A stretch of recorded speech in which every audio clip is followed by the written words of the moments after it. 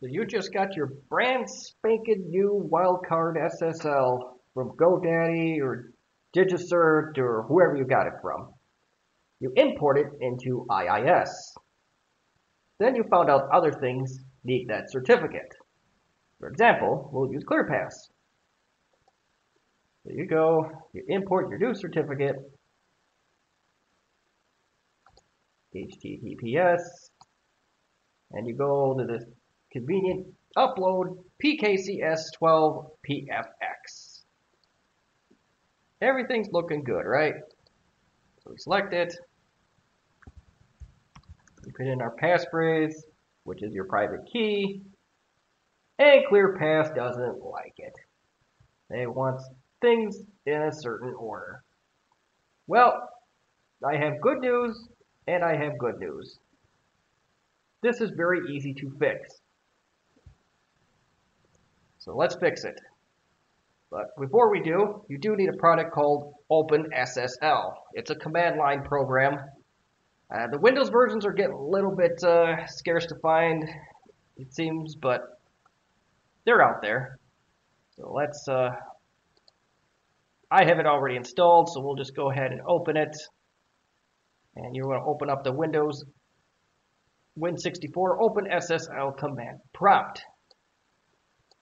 So now, made these uh, pre-made some instructions. The, uh, where your user directory is pointed to right now is not critical. So all you got to do is you basically have to separate this thing. So the certificate and key are going to be two different pieces.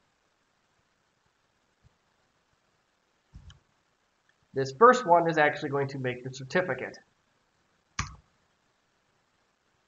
And, well, this is not off to a good start.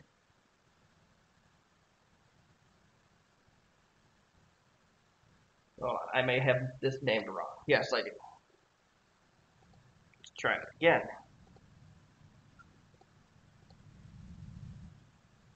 Okay, so of course, uh, this is the path where your PFX file or your export from IIS would sit, and this is where you want to spit it out. If you don't put this file path in, it'll spit out, in my case, it'll spit out to C users administrator. Try it again. Uh-oh. That's a little bit better, so we'll put our import password.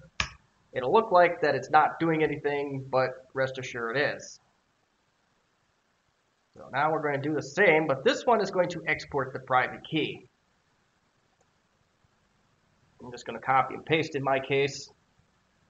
Now, a lot of your directions, I'm going to highlight some of this nodes, this dash nodes. Uh, it almost seems like this puts on an additional password if you don't have this. So it's very important at least in ClearPass, you have that minus nodes in there.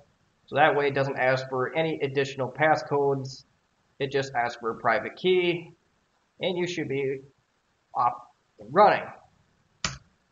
So same drill. It'll ask for your import password, which is the private key you made when you exported it from IIS or wherever your certificates are stored. Now, we shall go over to ClearPass. And let's try this import again. And select the right one because I already corrected it on one. So now we're going to use upload certificate and private key file. So you want cert PEM. The bottom one is going to be key PEM. And then you put your private key in. And it should in theory work. And yep, it uh, works great.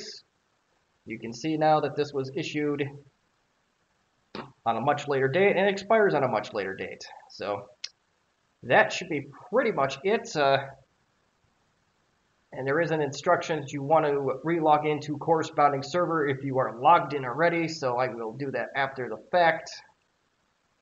And that is pretty much it for this demonstration.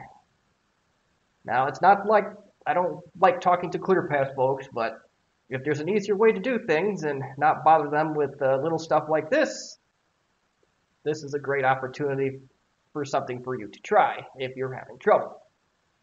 And if you're in a situation where, well, I'm still running into trouble, maybe export or import your certificate into an IIS box, export it with the private key, and just try what I did here. Now, not all setups are the same, so you may still have to call ClearPass and bug them, but hopefully this saves a few people. So, you have any uh, questions or comments or uh, constructive commentary, of course, you may feel free to leave them in the comments section. As always, thank you for watching.